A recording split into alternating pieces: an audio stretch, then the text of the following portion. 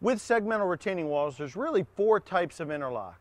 The first of which is the shear strength, the block to block contact. That's why you see these meaty webs on this block, right? So the block sitting on top of the block has that tremendous amount of shear strength. The second type of interlock is the independent mechanical device.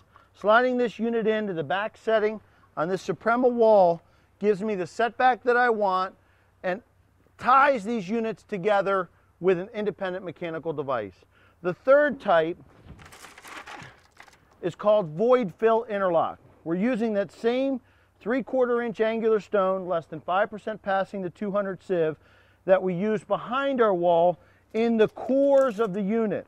So as that aggregate is woven through the units, it ties them together even more. The last type is the pattern. Make sure your bonds don't line up.